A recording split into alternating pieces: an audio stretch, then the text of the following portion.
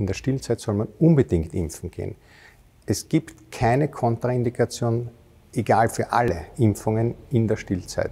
Jede Impfung ist in der Stillzeit möglich und gerade die Covid-Impfung soll, wenn sie nicht vorher durchgeführt werden, in der Stillzeit durchgeführt werden.